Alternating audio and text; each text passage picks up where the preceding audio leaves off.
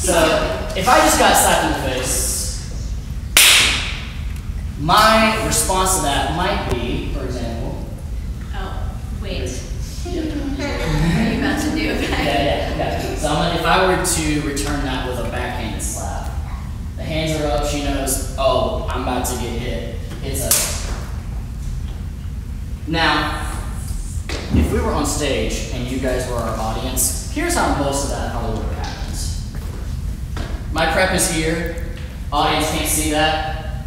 There's eye contact. I know that it's coming. The eye contact is to establish that, oh, hey, I see you, you see me, the hand's there, cool, let's go. Never, ever, ever follow through and move if eye contact is not established. That's how people get hurt. I've been punched in the face three many times. Not to scare you, that's just the reality.